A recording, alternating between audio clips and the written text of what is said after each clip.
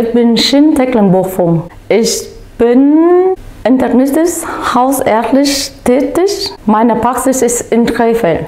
Ich habe in diesem einen Wochenende gelernt, Schmerzen mit einer Nadel sofort zu eliminieren. Effekt nach einer Sekunde. Die Leute mit einer Nadel beschwerdenfrei zu bekommen, das ist, das ist der Entscheidende.